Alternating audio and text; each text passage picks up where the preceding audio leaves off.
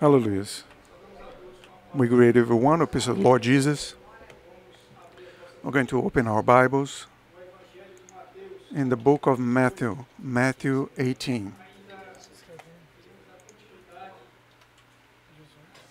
We are going to give continuity uh, on the topic forgiveness. Forgiveness is a balm. Forgiveness is an agent of reconciliation between God and man. God manifests his love towards the world through forgiveness. In John 3:16 he says God loved the world in such a way that he sent forgiveness. Jesus is forgiveness. Jesus has many names, but one of Jesus' names is also forgiveness. And the word says that Jesus loved, loved the world in such a way, and he loved until the end. And when, as we see the last breath of Jesus, he used an expression that says the following Father, forgive them. So he went to the cross of Calvary to decree forgiveness to each one of us, forgiveness to the entire humanity. And this is the balm. This is the agent of connection and reconciliation that we're going to once again speak about tonight. Forgiveness is on the basis of salvation. On Matthew 18, we're going to read a couple of verses. The 18.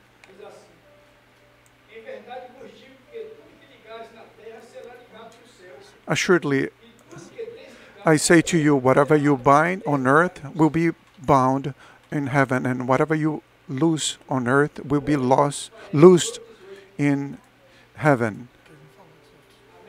Amen. We're going to say it again. 18, 18. It says the following. Assuredly, he said, assuredly, I say to you, Whatever you bind on earth will be bound in heaven. Whatever you loose on earth will be loosened in heaven. Again, I say to you that if two of you agree on earth concerning anything that they ask, it will be done for them by my Father in heaven. So, the, is already speaking about connection and reconciliation and fellowship.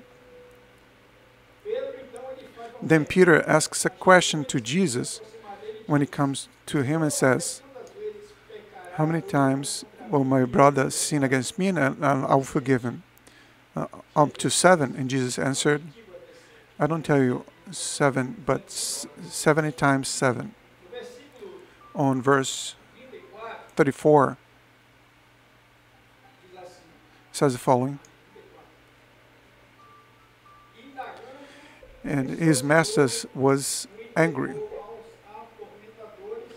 and delivered him to the term torturers until he should pay all that was due to him.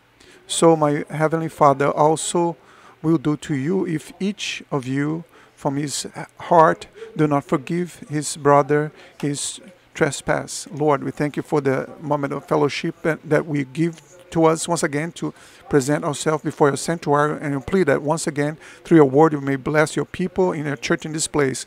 We pray in the holy name of Jesus. Amen. The church may be seated. In Matthew 5, 5 Jesus says the following You heard what was said an eye for an eye, tooth for a tooth. This expression, tooth for, for tooth and uh, eye for an eye, is in Leviticus, in one of the books of the law of Moses, for eye for an eye and tooth for a tooth. As he had been disfigured, a man will also do to him. So whoever killed an animal will restitute it, but whoever killed a man will also be killed.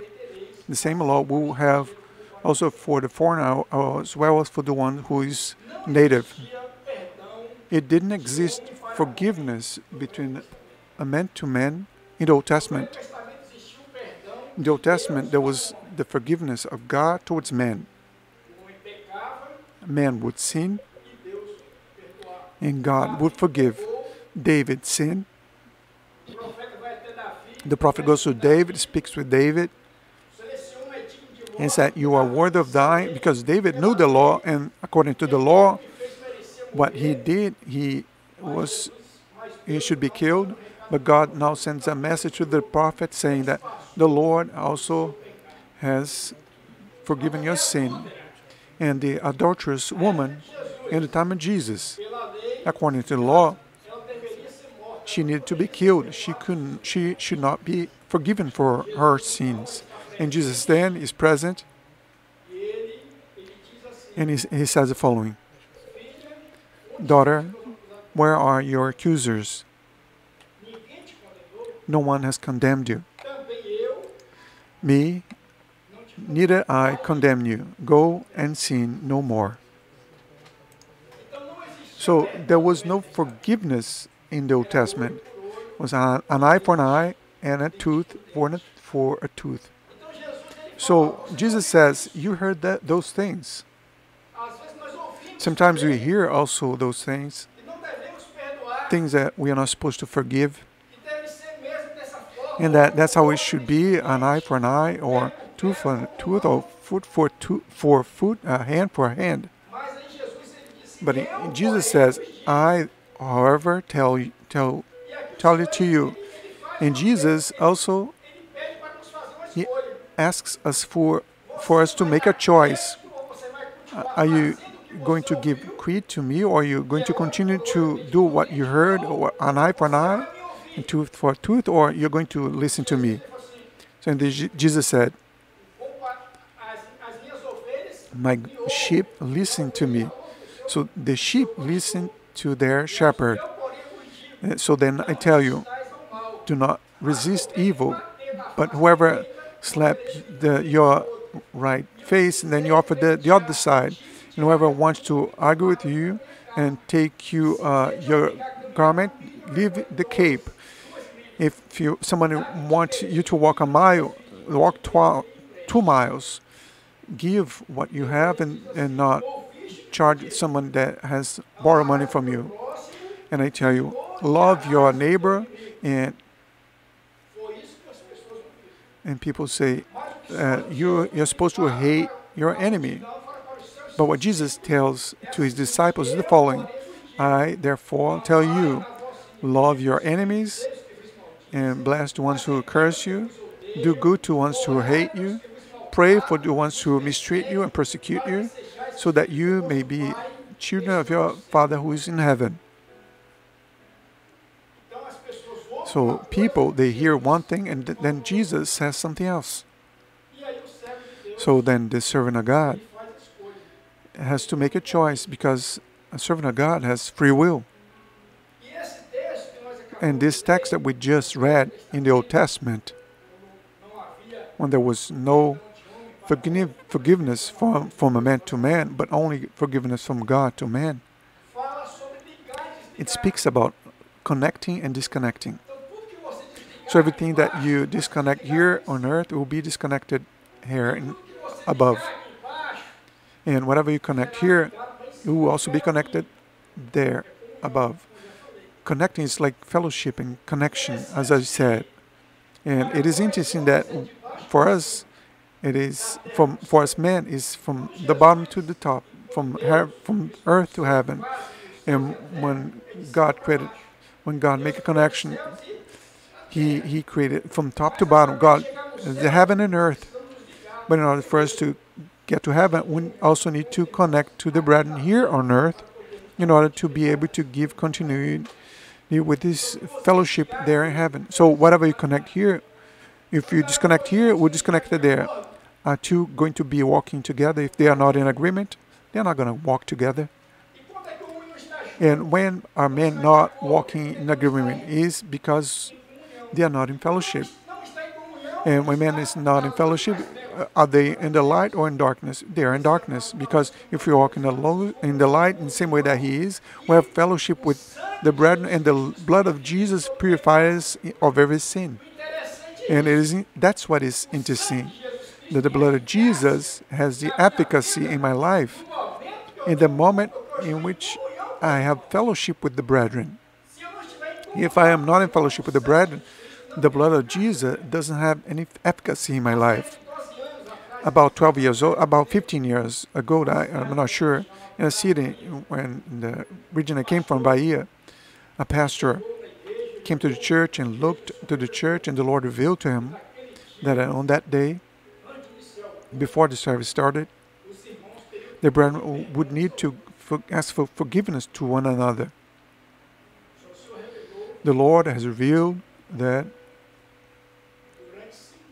for five minutes, the brethren we need to look for one another and reconcile with one another. And once everything, everyone has been reconciled with one another, then we begin the service. My brethren, was something that was extraordinary. God operated on that day, on that moment there, in an extraordinary way. You know why? Because there was at that moment the forgiveness from one another. And Jesus says, Love one another. And who loves forgives. Jesus loved us in such a way that he forgave all our transgressions. And when we brought Jesus to the cross of Calvary, and he forgave us for this. So he requests the same from us in the same way that He forgave us, that we may also forgive. There is a song that the, the instrumentalist is playing. It's about a servant of the Lord called Sergio Lopes, which speaks about the power of forgiveness. My, my brethren, forgiveness has an amazing power. When you forgive, your life is transformed, is changed. And the song says the following Forgive is much more than laying your hands. And to say that I forgive you, my brother, is use your voice is easy, shaking your hands is easy, it's difficult to reveal the heart. But if your heart forgives, it's easy to real to notice because your heart is an accomplice of your side.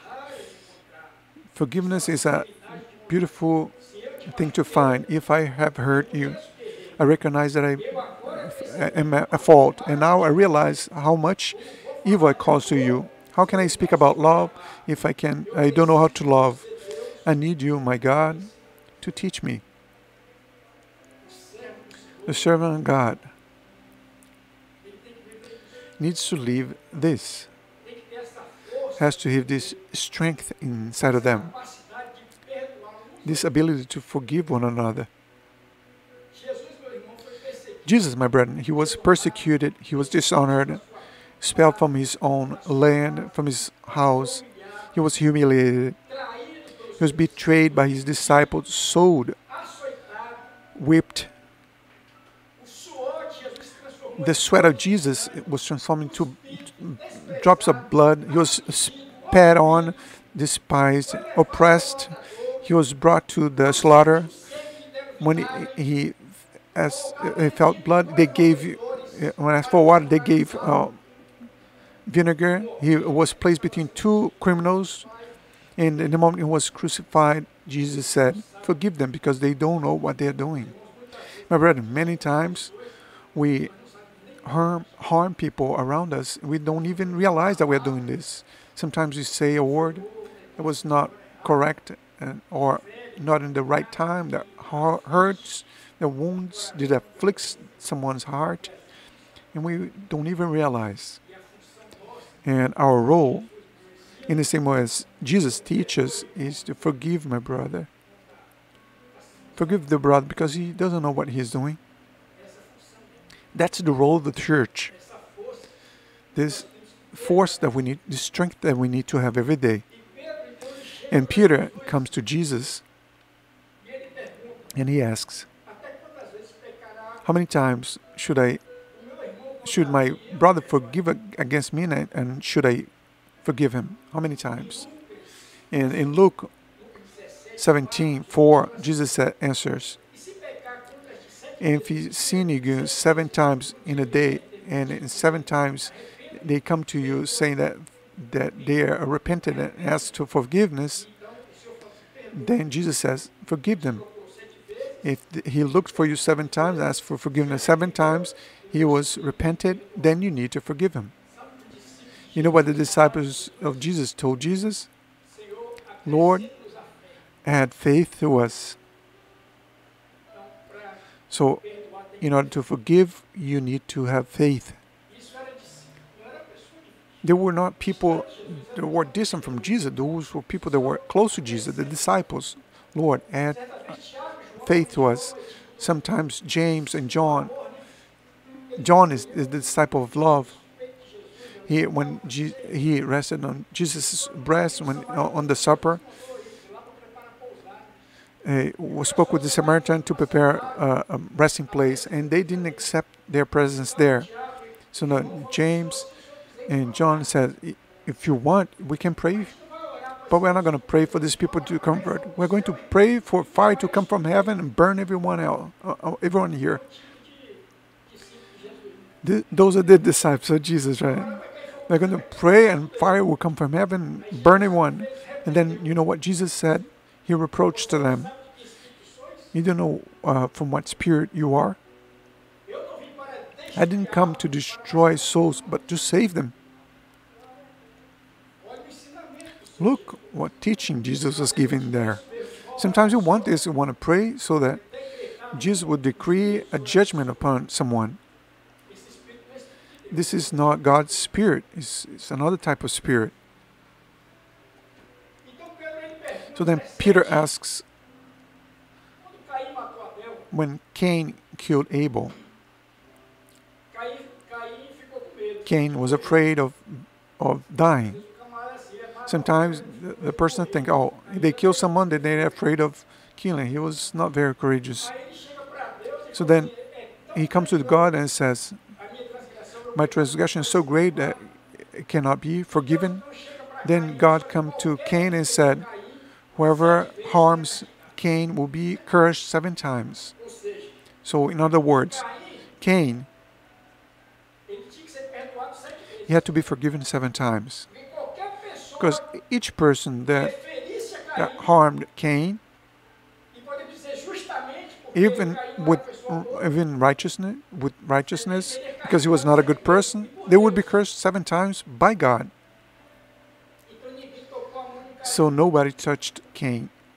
You know why? Because there was an order from God to forgive Cain. But one descendant of Cain called Lamech, he was even worse than Cain. That's why Jesus gives the answer here 70, 70 times 7. Because Lamech says, I killed a man when he wounded me, and I.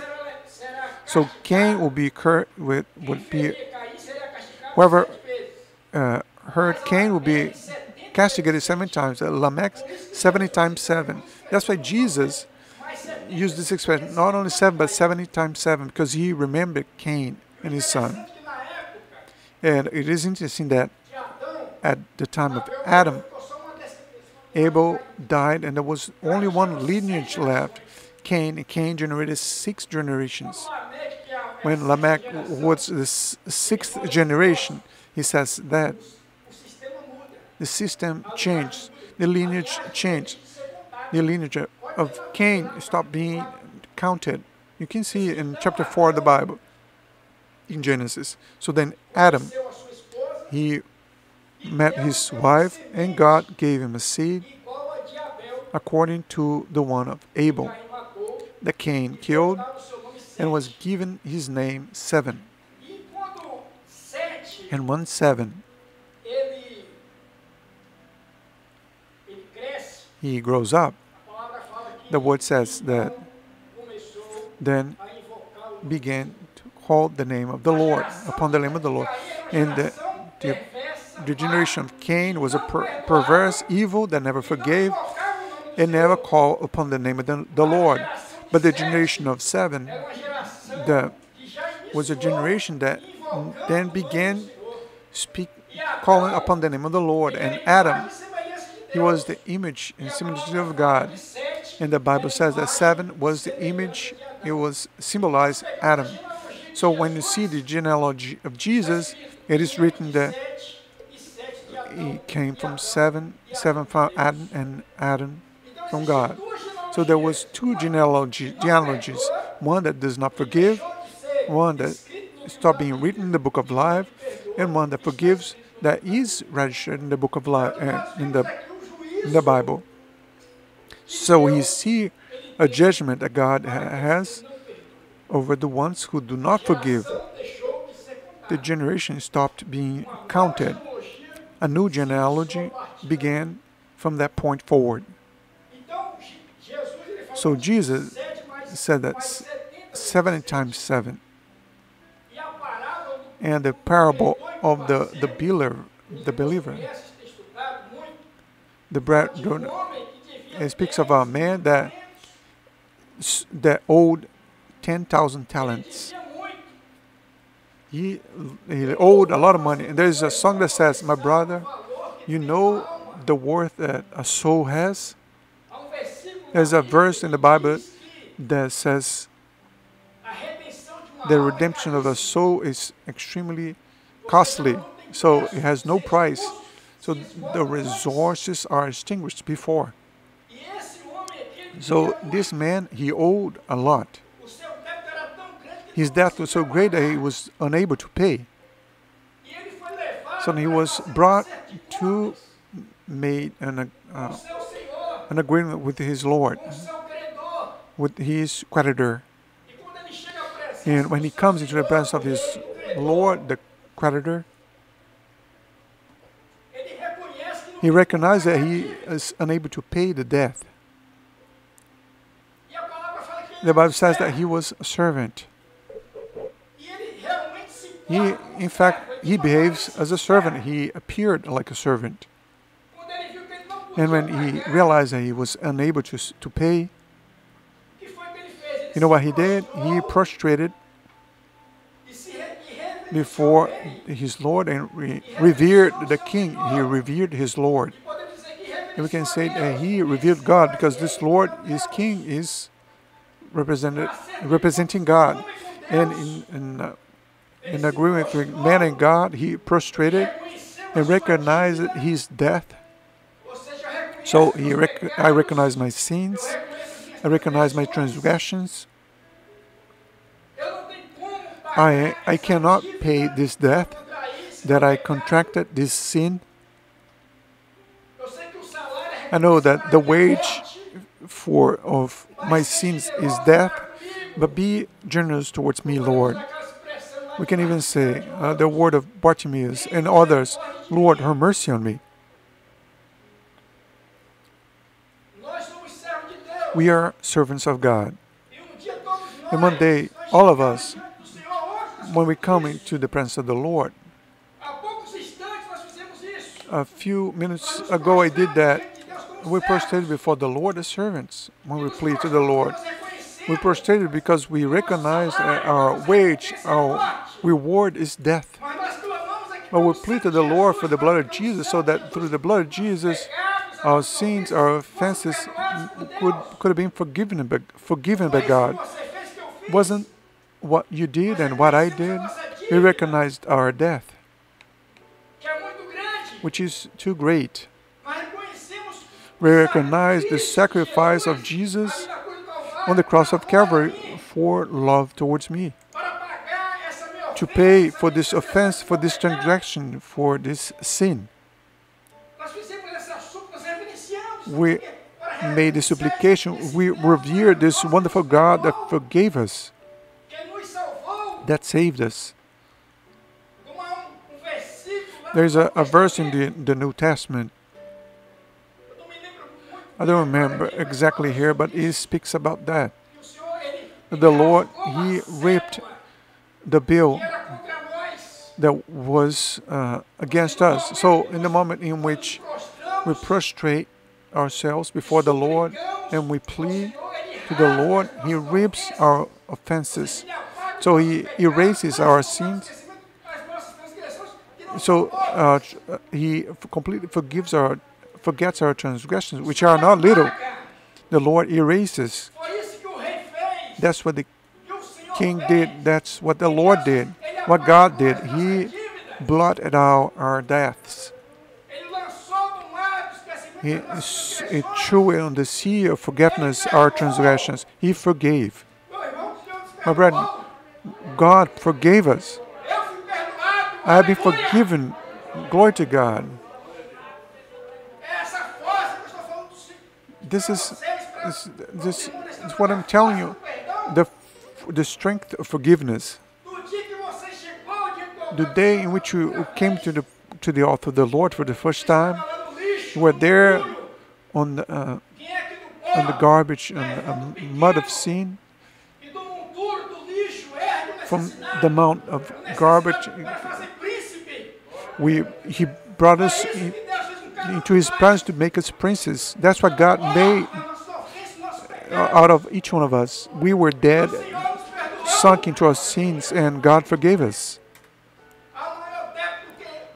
Is there a greater death that I that the one I have again uh, for God?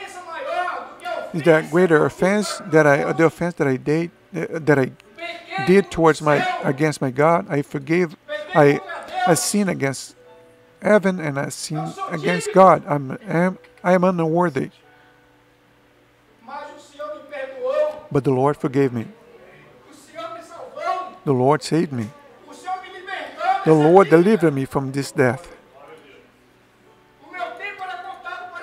My my time was numbered towards death. And that individual, he did that. He prostrated, he revered the, Lord.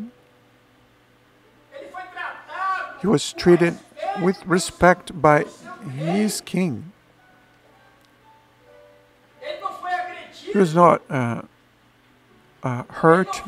He was not attacked. He was not humiliated, but he was forgiven.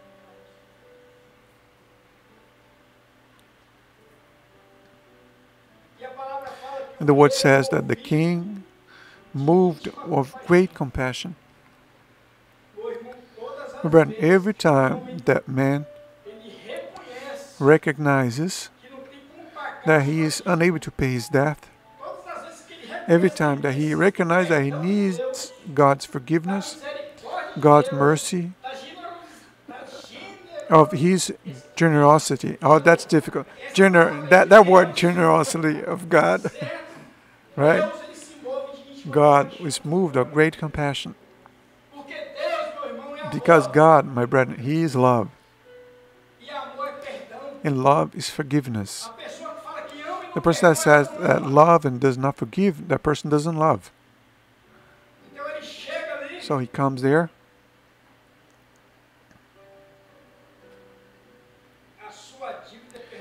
his death was forgiven.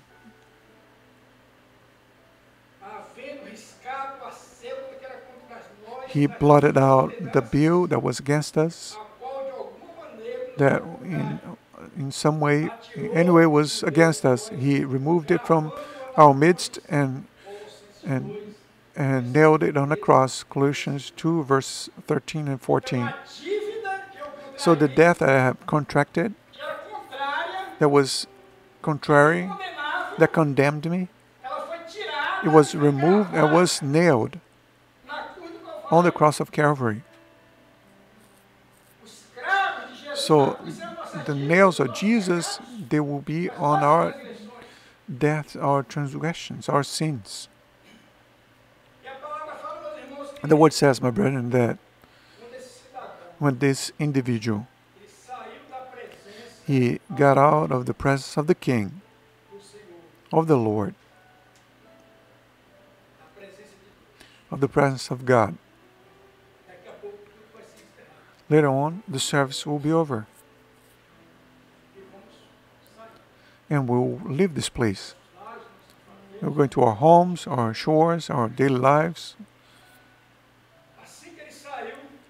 And as soon as he left, he met with one of his servants, one someone that was in the same going the same way that he was brother. And he dealt with that individual was completely different than the way. God, uh, the king, dealt with him. When he looks and he sees that his servant, his brother, devia 1% da sua that owed 1% of his death, ele devia 10 mil. he owed 10,000. This man only owed 100, just 1%, Uma quantia insignificante. an insignificant, an insignificant amount compared to the debt that he had towards the king. Sometimes a brother sister they owe us or I I owe because I think that's how it is sometimes what I owe to my brethren is an insignificant amount insignificant insignificant compared to the death that you you my brother has towards God so Marcelo he owes me 100 mas eu devo a Deus but I owe to God 10,000 Deus me perdoou, God forgave me podemos dizer 10 mil vezes. 10,000 times. And now I cannot forgive my brother, and the treatment was completely different. Once they asked David, Should I fall on the man of man or on the man of God, on the hand of God? David answered, oh, I rather fall on into the hands of God because God is merciful, but we also have to exercise mercy. We need to exercise forgiveness. And you, when you exercise forgiveness, and I exercise forgiveness, the the person is great. That benefited the most is myself. The Bible says, my brother, that he met with the individual that owed him more, owed him money, and he comes already grabbing onto him. His work, his job was he began in a, in a very aggressive way. The Bible says escrito grabbed onto him, and he. The Bible says, and he choked him. Sometimes a person, somebody says something against me and attack me in some some way, and I, instead of forgiving that individual, I grab onto that person. I really go there an aggressive way. The Bible says that to choke a person. How can you choke a person when you grab onto their neck, right? Uh, the neck speaks about fellowship between uh, fellowship between the the head and the body. So removing the hair afflict a person, cause anguish, kill by choking. Sometimes people they are so evil that they are unable to forgive, and they they uh, their desires to suffocate the brother or to attack the brother or to remove to take their life. The person does not forgive. And the Bible says, my brethren, that the individual he did exactly to the same servant. And when when you read the Bible, he th- that servant he fell to his knee and pleaded, "Be merciful to towards me." He used the same expression, the same as uh, in the same way as the other servant came towards the king, came toward the king and pleaded for forgiveness. Like uh, if I said, "Marcelo, forgive me. I sin against you, brother Marcelo, I kneel down before you, brother Marcelo. Forgive me." Uh, Brother Marcel does not forgive me. I'm using an example. He's a nice person. I'm the one who's is a bad person here. Oh, Marcelo, forgive me. And Brother Marcelo does not forgive me. And he suffocates me. Oh, but you, I'm not going to forgive you. That's what it is. You are evil. You're this. You're that. You deserve to die. You miserable person, right? That's how it is. And it's interesting that, my friend, that this is when Jesus said he spoke to his disciples. It happens inside of the church. Be merciful towards me. However, he, however, was didn't want it. How interesting is this? They could have used a different expression, but the Bible says that he didn't want it. He could have forgiven, right? Yes, he could. He didn't want. Can I forgive the brother? Yes, but I don't want to forgive. That's it. That's a decision I made. Nobody. It's nobody's problem. That's my problem. So he thought that this was going to go unnoticed. The Bible says that everything that all things are naked and visible towards God.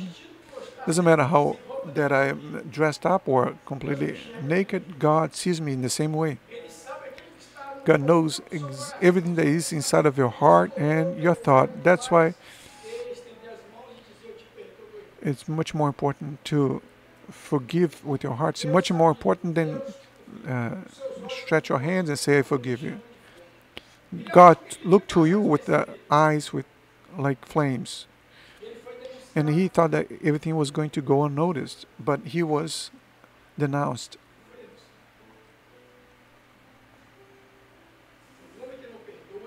The person that is not forgiven, does not forgive, he is denounced to God. And the word says, my brethren, that when his Lord, his King, he became aware that that man did not forgive his servant. He was outraged.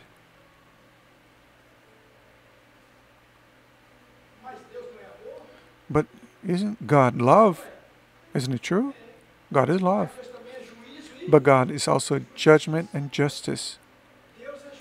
God is righteous.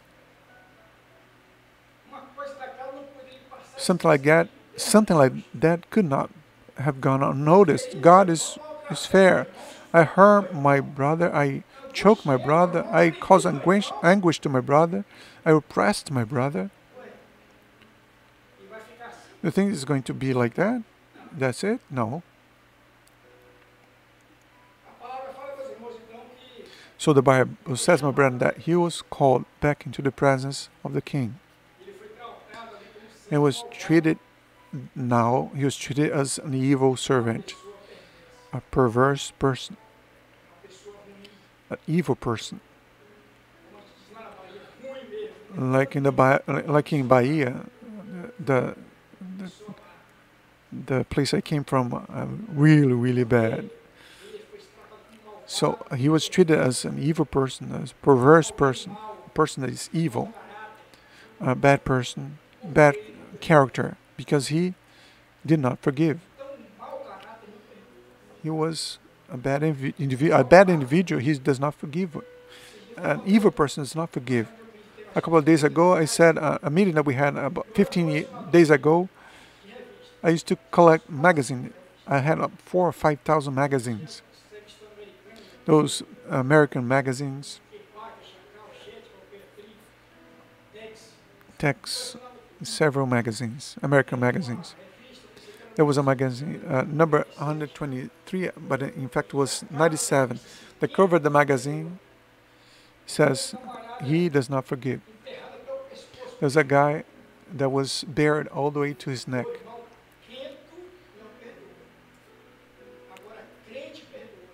Christian forgive.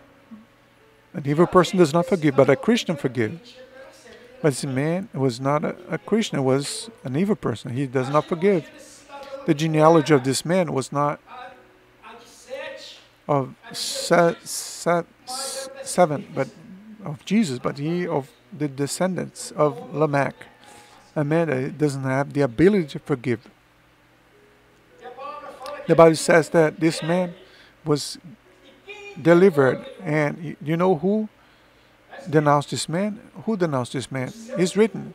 He's Lord. God delivered him, the evil man, to the tormentors.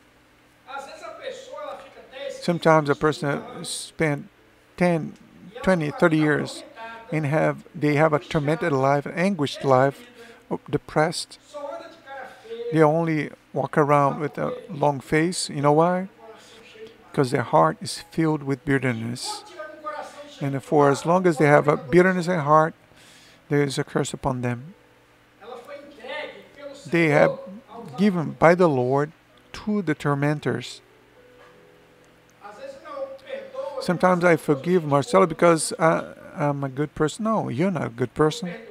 I forgive, you know why? Because so God can forgive me. And God may not deliver me to the tormentors. Because without tormentors, the life's already difficult. But with tormentors, everything gets much more complicated. Many people are suffering today in our churches. And the servants of God are suffering because they don't have the ability to forgive. Because the Lord, the Lord delivered them to the hands of the tormentors. My brother and sister, forgive is a matter of intelligence.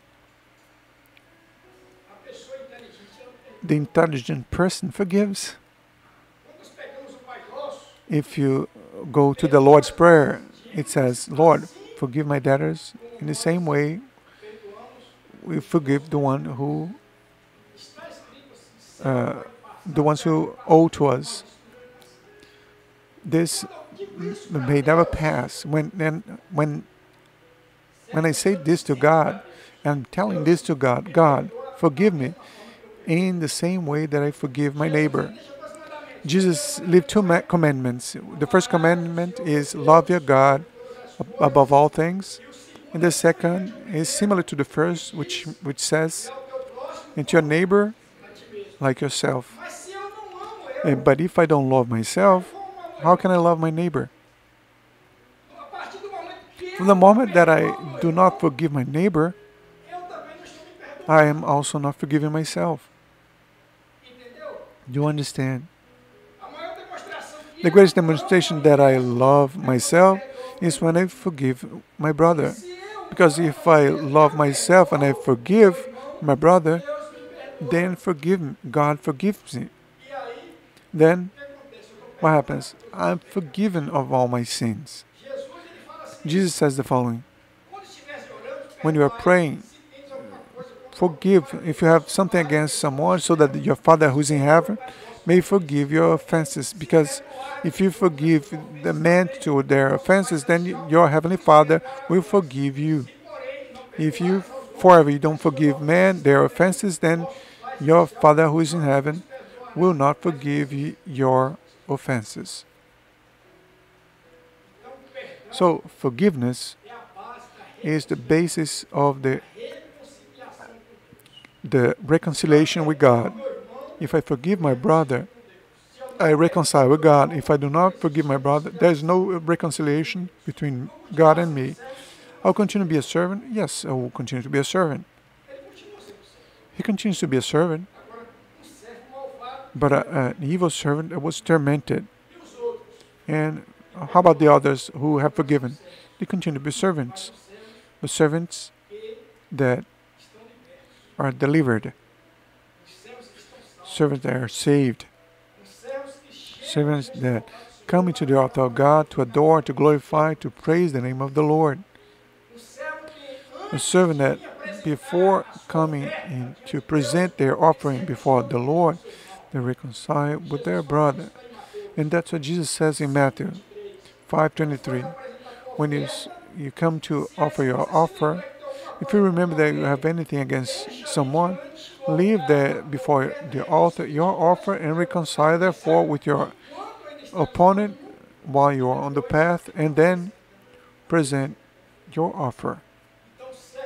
So then the servant of God is the one who present their offer before God, mas que se reconcilia but uh, has reconciled first with their brother, and has forgiven their brother or sister. And because they have forgiven their brother and sister, they are also being forgiven by God. The death of the individual was much smaller, is insignificant compared to the death that that man had towards God. Remember this. Your death before God is much greater than all the death that anyone may have uh, done against you. My death towards God is much greater than any offense and transgression that anyone may have practiced against me. God, God is very generous. He does 100% towards you and just wants 1% from you. Is that you forgive your brother so that you, me, we all may be forgiven by God. Amen. Let's hear a song.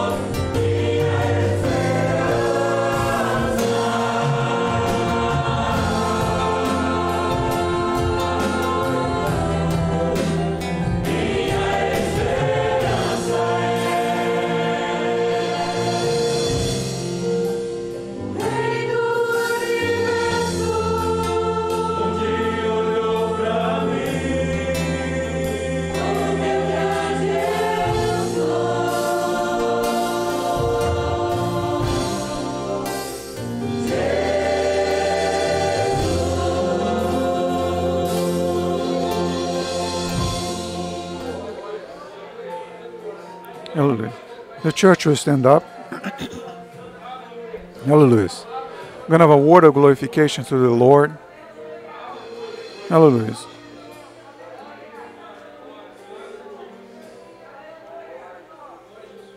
Look to Jesus.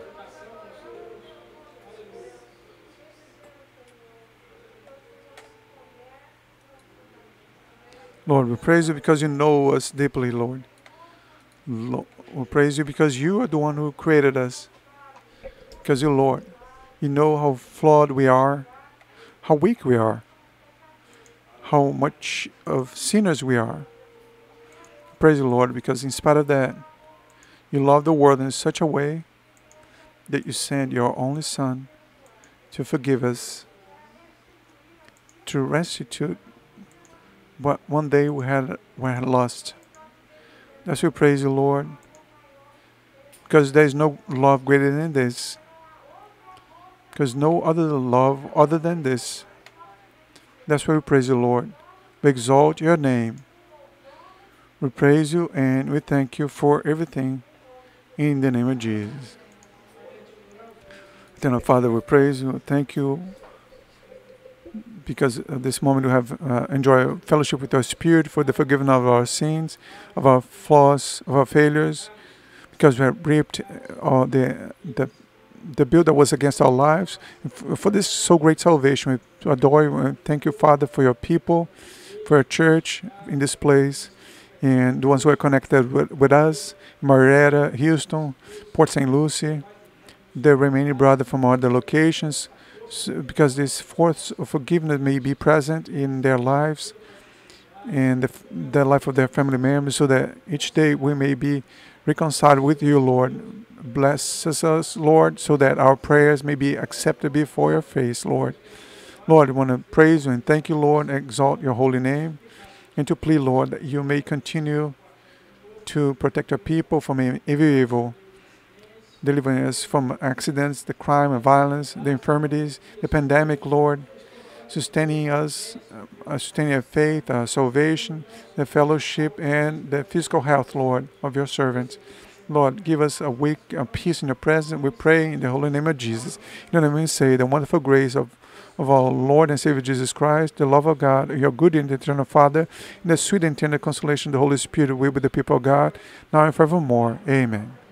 Remember, and the church may be seated. The service is over.